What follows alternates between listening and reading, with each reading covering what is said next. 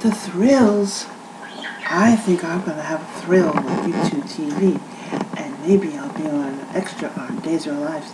I'm seeing we have a thrill, thrills with YouTube TV and being in a movie.